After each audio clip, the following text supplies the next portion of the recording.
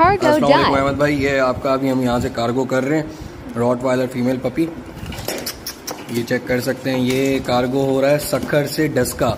ये डस्का जाएगा आज। बहुत प्यारा बच्चा है माशाल्लाह से। और अहमद भाई जब रिसीव हो जाए काइंडली बता दीजिएगा। ये अभी यहाँ से इंशाल्लाह कार्गो हो जाएगा। पैक हो चुका है। इसकी फ़ीड भी साथ भिजवा रहे हैं। जैसे रिसीव हो जाए बता दीजिएगा। गुड